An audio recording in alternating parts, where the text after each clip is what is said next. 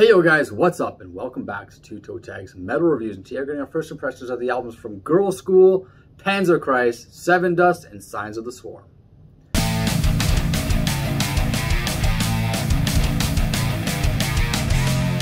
So these four new albums dropped today and we checked them all out and yeah, we're gonna getting our thoughts on them. So I started my day off with Girlschool. The album is called WT 45 or what the 45 or WTF 45. And he's saying that correctly because there's a question mark at the end of the album title. Yeah, it's kind of a weird way that they phrase it. Um, what the 45? So this band's been around for a long time, since the 70s, mid 70s, maybe late 70s ish, around there. Uh, British new wave kind of thing. Uh, but I've never really got into them. They're, they kind of just fell by the wayside, and uh, you know they did their thing in the background, kind of thing. So the album starts, and I'm not too blown away. I'm like, this is like okay music, but it's very meh. And honestly, I, I, I, got this feeling that like I kind of already know what this whole thing is going to sound like. Do I really need to listen to this whole thing? Um, and I almost shut it off. But then I'm glad I didn't because the second song, which is called Cold Dark Heart, is actually a pretty damn good song. It has a really sick riff and it's got a catchy hook and I was just really into it. Like I was like, wow, now this has potential. Good, let's go. Let's come on, rest of the album. Unfortunately, the rest of the album gives me the same vibes as the first song did, which again is not bad, but it just there was nothing really grabbing me, nothing really to magnetize me towards it. I think there's decent riffs throughout the album, but I feel like it's definitely a product of its time. And I feel like if you're really into old school metal, like that really old school, early, early days of metal, then you probably like this.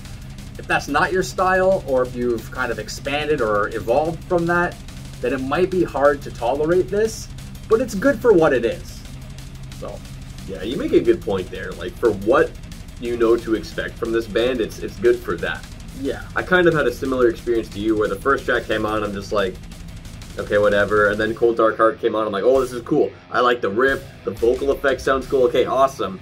And then after that, it just kind of just felt like whatever to me.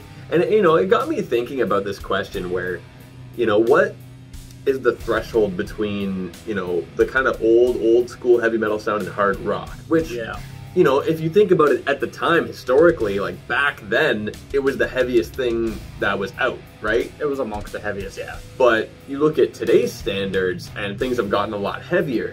So then you look at that in, I guess, a vacuum almost, and you think, okay, like what, where's that threshold now? You know? Yeah. We, we've commented on a band like Five Finger Death Punch and said that they've kind of become a little bit more hard rock, but yeah. how, like, what makes them really sound like that? and what makes this band sound old school heavy metal. And maybe a part of it is because this band is from that time, yeah. and that was heavy metal, and they still are that. Yeah, you know? the, the evolution of music is a tricky thing, right? It is because even if you think if you take hard rock for example, that's it's never it wasn't always as hard as it is now. Yeah, even rock and roll and hard rock has evolved into harder music. So everything's kind of evolved and it's getting more aggressive and more extreme in a lot of ways. So it is hard to pinpoint exactly what you're listening to. Like, do you call it hard rock now because it sounds more like modern hard rock, or is it mm-hmm. still heavy metal because it's true to the heavy metal sound exactly. of the days past? You could probably call it both and be accurate both ways. Mm-hmm. But yeah, it's either just, way, it's an interesting thing that came across my mind when I was listening to this album. But I do think it definitely fits in with the time that this band came from. For sure. Like, for sure. if you like that kind of stuff, you like that. Uh, one thing I do want to mention, which I thought was funny, uh, the guitar slides that happen in Believing in You were giving me flashbacks to when the world becomes undone by a pale horse named Death. If you remember when oh, we yeah. checked that album out, there so many guitar slides. So many of the same guitar slides. So I was hearing on this song, like, no, not again, I no. Forgot, I forgot about that. Um, so that was pretty funny. But yeah, overall, like, if you're into that style of old school heavy metal, then this is the album for you. Yeah. If not, then probably skip. Yeah. Uh, Last of a Kind by Panzerchrist. So this is a band that's new to me. I don't know if you've checked them out before. I've heard the name, but that's it. There's another band with a similar name. I think they're called Panzerfaust or Panzerfaust, which some people might get the mix up. I might be saying that name wrong as well. They should tour together. oh, wow, what a, a double Panzer. Uh, yeah, Panzer squared. Um, the Panzerati tour. This band is, um, it sounded like black metal to me TV Fish said death metal, so we looked it up and they're blackened death metal. It's- yeah, like at first I was thinking death metal, and then as it was going, I'm like, this has a lot of blackened elements, so it's like Yeah. blackened death metal. It's kind of both. Um, so, I mean, I like this style of music. It'll never go wrong in my eyes. Mm-hmm. The problem with it is, is there's nothing inspiring about it. There's nothing about it that makes me go, "Holy crap, that's awesome! I gotta add that to the playlist," because it's pretty much walls of blast beats, um, the same kind of harsh black metal vocal.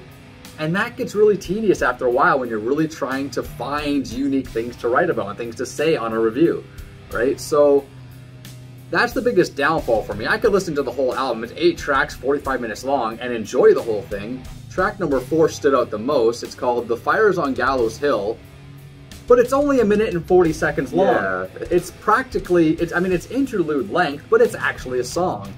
Uh, it sounded really evil. It had this really cool, just darkness to it. I mean, the whole album sounds dark, but why couldn't this be normal song length? Like, why couldn't it be normal song length? and like the song right after is like a seven or eight minute song or something. Exactly. So it's a little bit weird that way. Um, but yeah, it's just it's it's it lacks inspiration, and you know what? That's honestly a lot of genres have a lot of bands that kind of fall into this pocket where they just do the run of the mill stuff to record an album, do the run of the mill stuff. We're always looking for bands and albums that are going that extra mile and taking that extra step and sounding a little bit different here and there because that's that gives us stuff to write about. It gives us stuff to talk about and stuff to be excited about. This mm-hmm. album was good, but had nothing like that for me in it. Yeah, it's it's the kind of case where it's like you the band obviously knows their audience, and for reference, this is the band's first album in ten years. Oh, is it? Wow. So it's been a while since uh, one of their records, and at first I really wasn't feeling it. I'm thinking this is just like wall of sound death metal, like whatever. But as I listened more, maybe I started to adjust to it more because considering all four of these albums sound pretty different from each other. Like Yeah, you yeah. listen to one, you go to the next one, and it's a jump. So your Contrast, your yeah. ears and your mind are gonna have to adjust to what you're hearing. You go, you know, for example, if you're gonna go from Girls School to Panzerchrist, like that's a jump. yeah. So I think it took a few songs for that to happen with me for me to adjust, and I started to like it a lot more. I started to notice cool riffs, cool ideas. I like the spookiness of this album, some of the sound effects they use, the organ that's used. I like that, and it gives like this kind of grim um, atmosphere to the album. It makes you wish the album was released in October. yeah. It, would- it would be fitting. Um, but my name is Lucifer. Like this, this is earlier on, and it almost builds up to something interesting in the bridge, and then goes to the wall of sound riffs. I'm like, okay, what the heck? But I will say that chorus and the riff is pretty neat. Um, for reference, I didn't listen to this after Girlschool. I did start with Girlschool, but then I went to Sevendust and then went to this. It's it's still a jump regardless. Just Yeah. making that clear. Um, the Devil's Horror starts off with these sounds and then fades off as if fades out as if it like the track is over and then the track starts. I don't know if you thought that was weird. I thought that was a little weird. I honestly didn't even catch it to be honest. It's, I, I feel like things flow in the sense of like you're not sure if something is a transitional like interlude track or not. I think stuff like that's done intentionally to create a feeling of almost upheaval, like uneasiness, right? You don't really know what to expect. The listeners kind of like gets thrown off, Yeah, right, which you did. at that. Yeah, I mean, yeah, it's it, done, it worked. It's done deliberately. They did it. Um, I, I was I was thinking as I was writing this, like all my notes, I'm thinking that this band kind of falls in line similar to maybe like Napalm Death or Goatwhore. That's Well- I mean more blackened than them, but I feel like it's kind of the death metal aspect is similar to those bands. I'd say, Maybe, yeah. but um, the tremolo that's going on in Baptized in Piss was really nice. and what I, a song name. what, what a song name! But that I wonder one whose piss it is. Is it the priest's piss? Is it like a concoction of multiple people's piss all together?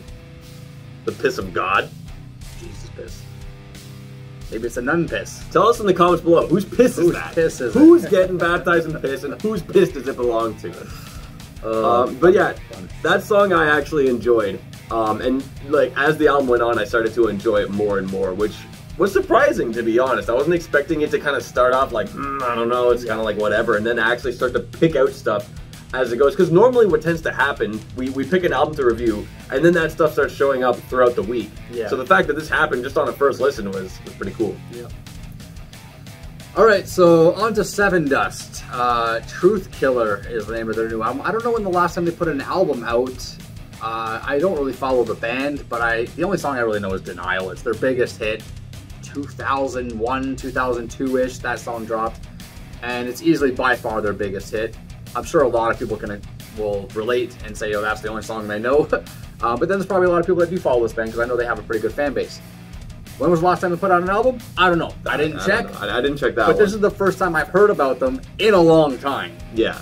So I haven't heard about this band in at least a decade, if not more. That's just kind of happening this year. We're seeing multiple old school, early 2000s nu metal bands just dropping albums. There's a huge surge of early 2000s nu metal bands dropping albums. Like, we got this. There was Godsmack earlier on. I think Taproot is dropping something. Nonpoint, Static X has got an album coming up, but then again, they've been relevant lately. This, yeah, because they dropped the Um, first one like a few years ago at the double. There, there's a whole bunch. I actually made a list because there was a bunch. There's like almost 10 of them, I think.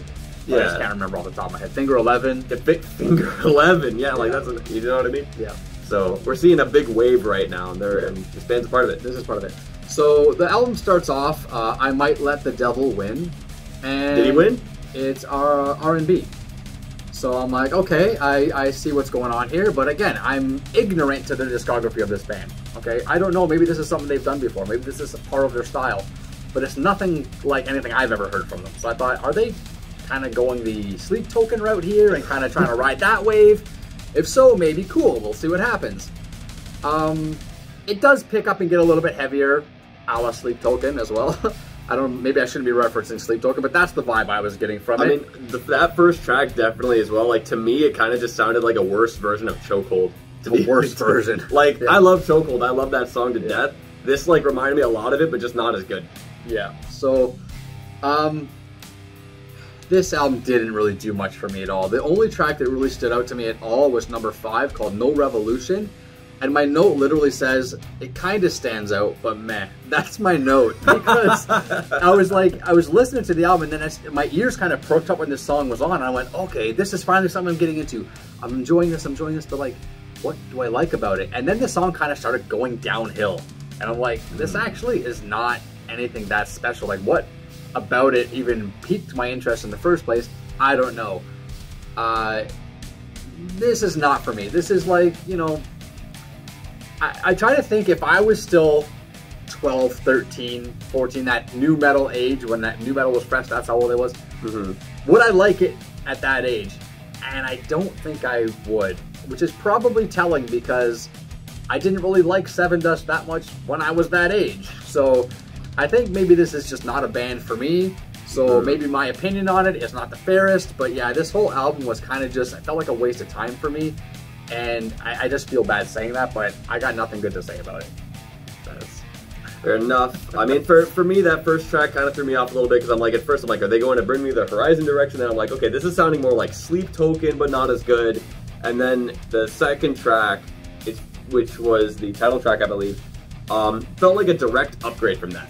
Like that first track kind of felt like an anomaly on this album. Like the rest of the tracks don't sound as much, you know, kind of R&B or poppy as um, as uh, the first track. So you know, I felt like okay, this is kind of what they're going with, and I felt like this album had moments and a few songs that were good. Like there were some aspects like, oh, that's a cool riff, or that's a nice melody, or hey, this song is good.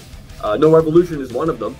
Um, and Won't Stop the Bleeding. I liked that riff a lot. That that one, I was jamming out to that one. That one was good, and that's what I'm talking about. Like a few things here and there, but in the latter half of the album, I feel like I heard everything already. Mm-hmm. Like by the time I'm in the second half, I feel like this album was not giving me anything new. There was nothing new to offer Yeah. from this album, with the exception of Fence.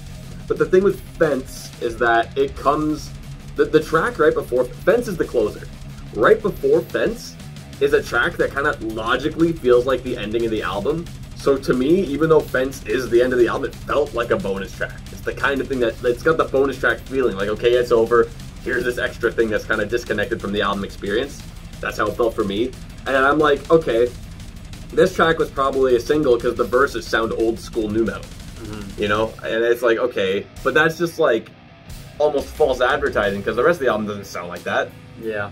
And it's got hard stuff and good breakdowns here and there too. It's not like it doesn't have that at all. It's just it doesn't sound the same way that Fence does with the old school you know, kind of aggressive sound. Mhm. Um, I didn't hate this album. I do think it's a bit too long. It's 49 minutes. I don't think it needs to be that long. You could probably cut like two tracks, maybe, maybe three. I, I don't know. I mean, 49 minutes isn't that long for an album, It's but for an album that sounds like this, it feels long. For this album, Yeah. I feel like this specific album could be Yeah. But it's not like I hated it, and there were moments and tracks that I did enjoy. So it's like it's alright, I guess, for me.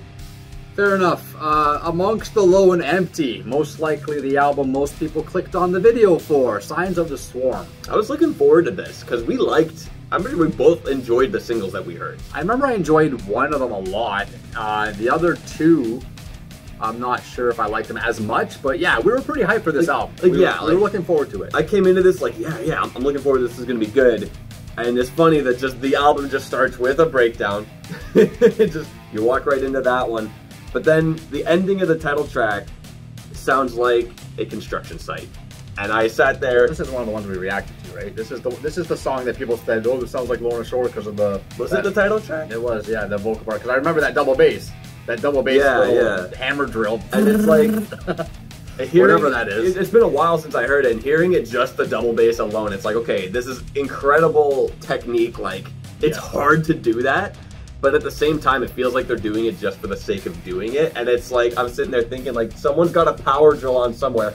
I'm at a construction site. It's summer in Canada, so you know that's exactly what you're gonna be hearing outside all the time. They're just putting on uh, signs of the swarm. So, um, yeah, that that was kind of bugging me, but overall, I was kind of finding this album had small, like, gem moments in it. So, the syncopation in Tower of Torsos, another one reacted to with a really cool video, if I recall correctly. Um, I enjoyed that a lot, and I was finding that kind of thing throughout the album. Like, oh, this song's got a cool moment here, and that song has a cool moment there, but it's all still kind of surrounded by what you would know from modern deathcore. Like, think of the modern deathcore sound. That is the majority of this album. yeah, And I was getting to a point where it's like, okay, they have a cool idea here, and then they just do the deathcore stuff again. The intro of Shackles Like Talons, super cool. Felt like this was building up to a really cool, interesting pace breaker, and then it goes back to what I've been hearing for the rest of the album. And I'm just like, of course. Um, the melodic part of Dream Killer, I thought that was cool, and I feel like those kinds of ideas need to be expanded on in this album. And I feel like if they were, this album would be great because then all the songs would have their own identity and character to them, but while still being deathcore songs. For example, an album like the new Of Sulfur album, which we did review, does that. It Yeah. still sounds like deathcore, but all the songs have their own kind of character to them. Yeah. They stand out. They got unique parts, features, this and that. There is a feature from Matt Heafy on this song. I didn't even notice it to be honest, because I was just thinking like, I noticed it a bit, but yeah, it wasn't huge, a standout difference majorly or anything. But hmm And then, so I, I feel like one thing I noticed kind of when finishing this album is that I feel like it might be best in small doses. Listening to these songs, just one song on its own, is probably going to sound really cool. And be like, yeah, this is cool. The syncopation, the rah, crazy aggressive. But then when you listen to all of them together, you start to find a lot of repetition in that. And that might be why we enjoyed the singles the way we did. Because it was just one track at a time. yeah, that makes sense. You know, I, I do agree with a lot of things you say, and I find something interesting. As different as these four albums are, they all share something in common, and that is I think that these bands are just really playing it safe. They're not really going outside their comfort zone. They're just doing uh, you know, very genre-specific things and riding their comfort wave from beginning to end, I mean, essentially. considering Sevendust, we don't really know the history with that band We super well, so they could have experimented there. I, I, I, I would doubt that they sounded like this back in the day. You know what I mean? well, if you listen to Denial, like Denial, Admittedly, I don't really know them very well. I knew of them, but I never listened to them. if you heard Denial, you'll probably go, "Oh, that song." You probably you probably heard it. Um, but it's not a far it's not a far cry from that. Like what I heard on this album today, it's not a far cry. From, so it's like their sound hasn't changed drastically, except the R and B thing threw me off a bit. But even still, I still think as an album as a whole, they still played this kind of safe route and didn't really do much craziness with it. But anyways, we moved on from that. Signs of the Swarm. So yes, the double bass on this album. Can you call it a highlight? I would call it a highlight because Yeah. it's impressive. It's- It's, it's- impressive, and it's, it's it, it kind of makes you go, "Holy shit, what the fuck!" But it, over and over and over again, literally every song has this blazing double fast bass. The best use of it is in track number six, "Shackles Like Talons," because they actually use it as part of the rhythmic pattern of I don't know if it's the whole song or just part of the verses or whatever. I didn't really gauge how much it was used, but it was used in a really good way. And I went, holy crap, they're actually doing something with it. This is awesome. But in other songs, it's kind of just like spurts here and there, right? And it's like, okay, we get it. We, we get it. You're, you can do it. Cool. Um, one thing I find kind of funny is uh, amongst the low and empty, the title track. I remember we said, you know, people were saying it sounds like Lorna Shore because he does a bit of the zombie noises at the end, the you know the animal noises or whatever. We we disagree with that, but people were saying that. Um, I I think that's more Infant Annihilator. If I'm gonna if you're gonna give a reference point to uh, where credit is due, I would say give it to Dickie. Um, and the the funny thing is, the double bass stylings of this album also harkens back to Infant Annihilator. It maybe goes back further to another band, but that's where I first noticed uh, double bass like that. Like, it's basically like drumming that sounds inhuman. Like, you almost can't picture a person doing it, mm-hmm. but there's techniques out there that let you do it, and it's crazy. Um, but it is what it is. Uh, the Witch Beckons is the song with Matt Heafy on it. Again, one of my notes on this song is more crazy double bass. Um, but Matt's feature was nice. Uh, it's it's he does a vocal appearance. He probably has some guitar in there as well. It's hard to really tell exactly, but the fact that you hear a different voice uh, made this song sound fresher than the others. So that stood up. It breaks up the vocals a bit. Um, overall, pretty solid track, and probably the highlight of the album for me. But like TV Fish, all these songs have a very similar vibe to them, and um, other than that feature track, none of them really stand out at all. And that's a shame because we were pretty hyped for it. Yeah. And, you know, I, I thought this was going to be more like, you know what I was expecting when I went into this? Um, that Fit For An Autopsy album that came out a year or so ago. Oh, what the future oh, holds. what the future holds. Yeah, that's a sick album. It is. And for some reason, I thought this was going to be like that like that, or at least give me the same feelings that that gave me. Mm-hmm. That's the kind of hype I went into this with, and I was pretty disappointed that I didn't get that. So, if you're a deathcore fan and you like just deathcore, then you'll like the album. We like deathcore. The album's not bad. Mm-hmm. But again, as reviewers, as people who are on this channel trying to give you guys good things to look for in albums, it's really hard when they're just doing the same kinds of things over and over again. Are these talented musicians? Absolutely. Absolutely. Um, are they are the songs well written? Is the album well produced? Yeah, sure. But there's just nothing special there. At least on a first couple it's, listens. It's so. few and far between, and I, like I said, I, I, feel like if they expanded on some of the small ideas they had in there, it would make the songs a lot more interesting. That's true. So, out of these four albums, we talked about this before we started recording this video, and we don't really feel up to reviewing any of them. But we are going to check out actually a potential hidden gem, an album that we came across a week or so ago. Yeah. And I can't remember. Do you know when it came out? It came out in February. It's, been, out, it's been, out, for months at this point. Vile found it and said that it would be a crime if he hid it from me. Yeah. He showed it to me.